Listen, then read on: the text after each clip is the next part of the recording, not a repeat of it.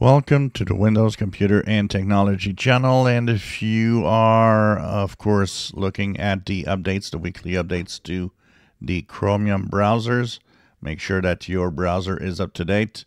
We've had the uh, security updates for Chrome this week, and you should have security updates for your favorite browser Brave, Opera, Vivaldi, and so on. And of course, Microsoft Edge is in there and updates have been released today, December 12th.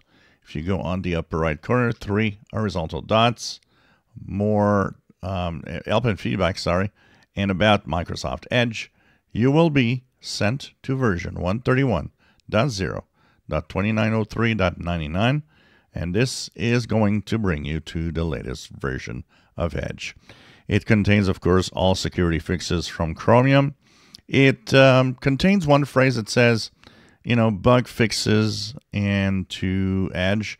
Now I don't see any bug or there is no description, so I don't suspect that there's much in terms of bug fixes. It's really mostly the security updates. Of course, this is what keeps you safe.